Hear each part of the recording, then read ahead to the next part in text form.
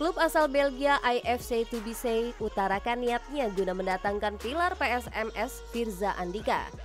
Firza akan diundang selepas kejuaraan AFC U19 untuk berlatih dan trial selama tiga pekan.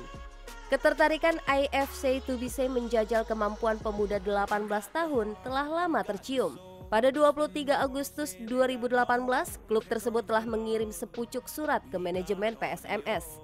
Dalam lembar surat itu, AFC Tubise menjelaskan akan menjamin kehidupan Firza selama di Belgia. Sejatinya, IFC Tubise merupakan klub kasta kedua Liga Belgia, berlokasi di kota Tubise sekitar 33 km arah selatan ibu kota Brussels. Berdiri sejak 1991, AFC Tubise adalah gabungan dari dua klub, Amis Reunis Deh Tubise dan AC Tubise, di mana bintang Belgia Eden Hazard pernah mencicipi karir junior bersama klub tersebut.